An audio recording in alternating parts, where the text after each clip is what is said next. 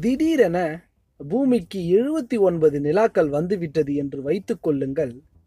பூமியில் இருந்து பார்க்கும்போது எந்த பக்கம் பார்த்தாலும் நிலாக்கள் தெரியும். இந்த நிகழ்வு ஒரு அதிசயமான நிகழ்வு. மிகவும் பிரமிப்பாக இருக்கும் தானே? நமக்கு தெரியும் இது எல்லாம் நடைமுறையில் சாத்தியம் இல்லை என்று. ஆம் பூமியில் இந்த மாதிரி எல்லாம் நடக்க வாய்ப்பே இல்லைதான். ஆனால் வியாழனில் இந்த நிகழ்வு நடந்து கொண்டு இருக்கிறது தெரியுமா? ஒன்று இரண்டு அல்ல சுமார் எழுபத்தி ஒன்பது நிலாக்கள் வியாழனை சுற்றுகிறது தெரியுமா? ஒருவேளை நாம் அங்கு இருந்து விட்டால் அமாவாசை பௌர்ணமி என்று எல்லாம் பார்க்கவே முடியாது குழப்பமாக இருக்கும். சரி அந்த எழுபத்தி ஒன்பது நிலாக்களில் இன்று ஒரு சிறப்பான நிலாவை பற்றி பார்க்க போகிறோம். மேலும் இந்த மாதிரி வீடியோக்களுக்கு நம்ம டிஸ்கிரிப்ஷன்ல லிங்க் இருக்கு. அதை ஃபாலோ பண்ணுங்க. அந்த சிறப்பான நிலா யூரோப்பா. அந்த எழுபத்தி ஒன்பது நிலாக்களில் யூரோப்பா என்ற நிலவுதான் நான்காவது பெரிய நிலவு. அதைவிடவும் மூன்று நிலாக்கள் பெரியது வியாழனின் நிலவுகளில். அந்த மூன்று நிலாக்களை வரும் வீடியோக்களில் பார்க்கலாம் தொடர்ச்சியாக. சூரிய குடும்பத்தில் உள்ள நூத்தி தொண்ணூத்தி மூன்று நிலாக்களில் ஆறாவது பெரிய நிலவுதான் யூரோப்பா. யூரோப்பாவின் தரைப்பரப்பு முழுவதுமாக உறைந்து பனியால் மூடப்பட்டுள்ளது. அந்த மூடப்பட்ட பனிக்கட்டியின் அடியில் கடல் இருப்பதாக நினைக்கின்றார்கள். அப்படி பல கட்ட ஆராய்ச்சியின் பிறகு அங்கு அந்த பனிக்கட்டியின் மேற்பரப்பில் இருந்து பனிச்சிதறல்கள் அப்படியே ஜெட் விமானத்தில் இருந்து வரும். புகை போல அப்படியே தூக்கி வீசப்படுகிறது. யூரோப்பாவின் தரை மேற்பரப்பில் இருந்து என்றும் கண்டுபிடிக்கப்பட்டுள்ளது. சுமார் நான்கு புள்ளி ஐந்து பில்லியன் ஆண்டுகளுக்கு முன்புதான் வியாழன் உருவாகி இருக்கும். அதே காலகட்டத்தில் தான் வியாழனின் நிலவில் ஒன்றான யூரோப்பாவும் உருவாகி இருக்கும். சூரியனில் இருந்து சுமார் எழுநூத்தி எண்பது மில்லியன் கிலோமீட்டர் அதாவது எழுபத்தெட்டு கோடி கிலோமீட்டர் தொலைவில் அமைந்துள்ளது யூரோப்பா. நமது பூமியிலிருந்து நமது நிலா சுமார் மூன்று லட்சத்தி எண்பத்தி நான்காயிரத்தி நானூறு கிலோமீட்டர் தூரத்தில் பூமியை சுற்றுகிறது. அதே போல யூரோப்பாவும் வியாழனை சுமார் ஆறு லட்சத்தி எழுபதாயிரத்து தொள்ளாயிரம் கிலோமீட்டர் தூரத்தில் சுற்றி வருகிறது. பூமி நாட்களைப் போல் மூன்றரை நாட்கள் எடுத்துக்கொள்ளும் ஒரு முறை வியாழனை சுற்றி முடிக்க யூரோப்பா. பூமியிலிருந்து பார்த்தால் எப்பொழுதும் நிலாவின் ஒரு பக்கத்தை மட்டும்தான் நாம் பார்க்க முடியும். இந்த நிகழ்வை டைட்லி லாக்டு என்று அழைப்பார்கள். இந்த நிகழ்வுதான் வியாழனுக்கும் மற்றும் அதன் நிலவான யூரோப்பாவிற்கும் இடையில் நடக்கிறது. வியாழனில் இருந்து பார்த்தால் எப்பொழுதும் யூரோப்பாவின் ஒரு பக்கம் மட்டும்தான் பார்க்க முடியும். சரி அளவு என்று வரும்போது யூரோப்பா மூவாயிரத்தி நூறு கிலோமீட்டர் விட்டம் கொண்டது. நமது பூமியின் நிலவை விட யூரோப்பா சிறியது. ஆனால் புளூட்டோவை விட அளவில் பெரியதுதான் யூரோப்பா. இப்படி துணைக்கோள்களை விட அளவில் சிறியதாக இருப்பதால் தான் புளூட்டோ கோள்களின் வரிசையில் இருந்து நீக்கப்பட்டு குள்ளக்கோள் என்று மாற்றம் பெற்றது இரண்டாயிரத்தி ஆறாம் ஆண்டு. புளூட்டோவை பற்றிய மேலும் விவரங்களுக்கு டிஸ்கிரிப்ஷனில் லிங்க் இருக்கு பாருங்கள் யூரோப்பாவின் மத்திய ரேகையின் மேற்பரப்பு எப்பொழுதும் மைனஸ் இருநூத்தி அறுபது டிகிரி ஃபேர்னிட்டும் மிக கடுமையான குளிரையை நாம் உணர்வோம். துருவ பகுதியில் எப்பொழுதும் மைனஸ் முன்னூத்தி எழுபது டிகிரி ஃபேர்னிட்டே உணரப்படும். இந்த பகுதி தான் மிக மிக மோசமான குளிரையே கொண்டுள்ளது. உறைந்து விடும் அளவிற்கு குளிர் அங்கு நிகழ்கின்றது. அதே போல சூரிய குடும்பத்தில் உள்ள நிலவுகளிலேயே மிக பிரகாசமான பிரதிபலிப்பை கொண்ட வரிசையில் யூரோப்பா தான் முதல் இடம். அந்த அளவிற்கு ஒளியை பிரதிபலிக்கிறது. லைட் ரிஃப்ளெக்டிவிட்டி யூரோப்பா யூரோப்பா பெரும்பாலும் சிலிக்கேட் பாறையால் ஆனது நமது பூமியின் மையத்தில் உள்ளது போல அயன் கோர் இருப்பதாகவும் கூறப்படுகிறது. ஆனால் யூரோப்பா பூமியின் உட்புறத்தை போல் எல்லாம் இல்லை. வேறு விதமாகத்தான் உள்ளது. யூரோப்பாவின் உட்புறம். யூரோப்பாவின் உட்புறம் பெரும்பாலும் நீர் அல்லது பனியால் சூழப்பட்டுள்ளது என்றும் ஆராய்ச்சியில் தெரிகிறது. சுமார் எண்பதிலிருந்து நூத்தி எழுபது கிலோமீட்டர் தடிமனாக இருக்கும். அந்த பனியாலான அடுக்குகள் அந்த அளவு தடிமனாக உள்ளது.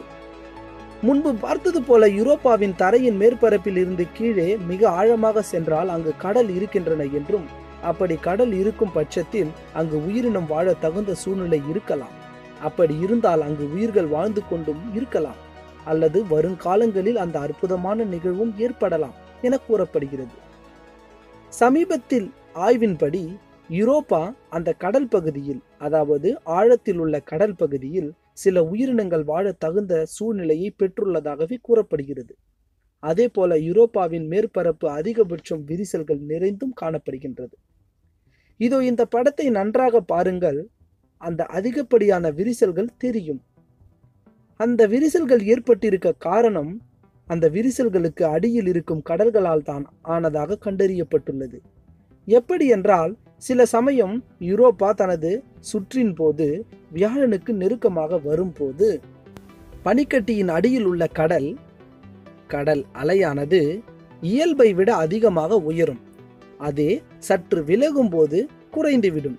இந்த நிகழ்வு தொடர்ச்சியாக நடப்பதால் தான் கடல் அலை தொடர்ந்து உயர்வதும் குறைவதும் என்ற காரணத்தால் தான் யூரோப்பாவின் காணப்படும் விரிசல்கள் ஏற்பட்டுள்ளது என்பது கண்டுபிடிக்கப்பட்டுள்ளது.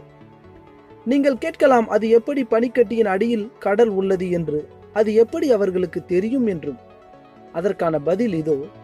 மிக நெருக்கமாக யூரோப்பாவை ஆராய்ந்த போது யூரோப்பாவின் அந்த பனி நிறைந்த தரை மேற்பரப்பில் இருந்து பனி நீர் சிதறல்கள் தூக்கி வீசப்படுகிறது. அது ஒரு ஜெட் என்ஜினில் இருந்து வெளியேறும் புகையைப் போல இருப்பதை சமீபத்தில் புகைப்படமாக வெளியிட்டனர். அந்த புகைப்படம் இதுதான்.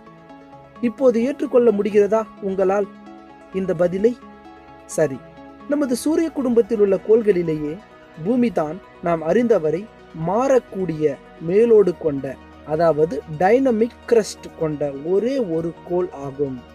இந்த செயல்முறை தான் ஒரு கிரகத்தின் பரிணாமத்திற்கு அடிப்படையாக திகழ்கின்றது. இப்படிப்பட்ட செயல்முறை தான் யூரோப்பாவிலும் நிகழலாம் என்று கருதப்படுகிறது. இதன் அடிப்படையில் தான் ஆராய்ச்சியும் செய்தனர். அந்த ஆராய்ச்சியில் தெரிவது டெக்டானிக் பிளேட் ஒருவேளை யூரோப்பாவில் உருவாகலாம். அந்த அடிப்படை அமைப்பை யூரோப்பா பெற்றுள்ளது. இப்படி ஏராளமான சூழ்நிலைகள் பூமியை ஒத்துள்ளதால் தான் யூரோப்பாவில் தொடர் ஆராய்ச்சியும் நடக்கின்றது. பூமியின் தொடக்க காலத்தில் பூமியும் இப்படிப்பட்ட சூழ்நிலைகளை தாண்டித்தான் வந்தது. அந்த காலகட்டத்தில் பூமியின் வாழ்வின் மீன்கள் மோதின. அப்படி மோதிய போதுதான் வாழ்வின் மீன்களால் கொண்டு வரப்பட்ட கரிமச் சேர்மங்கள் தான் உயிர்கள் படிப்படியாக பல்கி பெருக இந்த கரிமச் சேர்மங்களும் மற்றும் தகுதியான சூழ்நிலைகளும் காரணமாக இருந்தன பூமியில். இப்படி சில தகுதியான சூழ்நிலை யூரோப்பாவும் பெற்றுள்ளது கிட்டத்தட்ட பூமியைப் போலவே. ஒருவேளை அங்கும் ஒரு வாழ்வின் மீன் மோதினால் யூரோப்பாவில் பல மில்லியன் கணக்கான ஆண்டுகள் கழித்து அந்த கரிமச் சேர்மங்களும் உயிர் வாழ தேவையான சூழ்நிலைகளும் ஒன்றிணைந்து புதிய உயிர்கள் உருவாகலாம். வாய்ப்புகள் உண்டு. அதே சமயம் வெப்பமும் அவசியமானது என்பதையும் தெரிந்து கொள்ள வேண்டும். அங்கு சூரிய வெப்பம் போதுமான அளவில் உணரப்படவில்லை. அதனால்தான் அங்கு அந்த அளவிற்கு குளிர். சுமார் மைனஸ் இருநூத்தி அறுபது டிகிரி ஃபாரனிட் என்றால் சும்மாவா? எனவே வெப்பம் போதுமான அளவை பெற வாய்ப்புகள் உண்டா என்றால் உண்டு. வாய்ப்புகள் எப்படி என்றால் இன்னும் ஐந்து பில்லியன் அதாவது ஐநூறு கோடி வருடம் கழித்து சூரியன் அளவில் பெரியதாக உப்பத் தொடங்கும். அப்போது புதன் வெள்ளி பூமி என்ற முதல் வரிசை கோள்கள் சூரியனால் அழிக்கப்பட்டு அதன் பின் அந்த இடங்களை சூரியன் நிரப்பிவிடும் தனது பெரிய அளவான். அப்போது சூரியன் பெரியதாக மாறிவிட்டதால் அதற்கு அடுத்த வரிசையில் உள்ள செவ்வாய் மற்றும் வியாழன் மேலும் மற்ற கோள்கள் வெப்ப மாற்றத்தை உணரத் தொடங்கும். இந்த சூழ்நிலையில் வியாழனை சுற்றும் நிலவான யூரோப்பாவிற்கு வெப்பம் சீராக கிடைக்கலாம் என்றும் கருதப்படுகிறது. அடடே வெப்பம் யூரோப்பாவிற்கு கிடைத்துவிட்டது பார்த்தீர்களா? எனவே உயிர் வாழ்க்கை தொடங்கவும் ஆரம்பித்துவிடும் படிப்படியாக. என்ன அந்த நிகழ்வு நடக்கும்போது நாம் இருக்க மாட்டோம். ஏனென்றால் இன்னும் ஐநூறு கோடி வருடம் ஆகும் என்பதால் தான். அதாவது சூரியன் பெரியதாக மாற ஐநூறு கோடி வருடங்கள் ஆகும். அப்படியே பெரியதாக மாறும்போது சூரியன் நமது இருப்பிடமான பூமியை அழித்து விடுகிறது என்பதையும் நாம் நினைப்பதற்கு மறந்துவிடக் கூடாது அத்துடன் பூமியின் சகாப்தமும் முடிவடைந்து விடுகிறது. முடிவு என்பது எல்லாவற்றிற்கும் பொதுவானது என்பதை இதன் மூலம் தெரிந்து கொண்டோம். இப்படி பெரியதாக மாறிய சூரியனால் ஒருவேளை உயிர்கள் யூரோப்பாவில் உயிர் வாழத் தொடங்கலாம். ஆனால் அதுவும் நிரந்தரமல்ல. அந்த புதிய உயிர் வாழ்க்கை எப்படி என்றால் இப்படி பெரியதாக மாறிய சூரியன் அப்படியே நிலையாக இருக்காது. அதன் பின் நமது சூரியன் ரெட் ஜாயிண்டாக மாறும். இப்போது இருக்கும் அளவை விட சுமார் நூறு மடங்கு பெரியதாகிவிடும் சூரியன். அதன் பின் எழுநூறு கோடி வருடம் கழித்து மீண்டும் சூரியன் மிகச்சிறியதாக மாறும் அதாவது பூமியின் அளவுக்கு.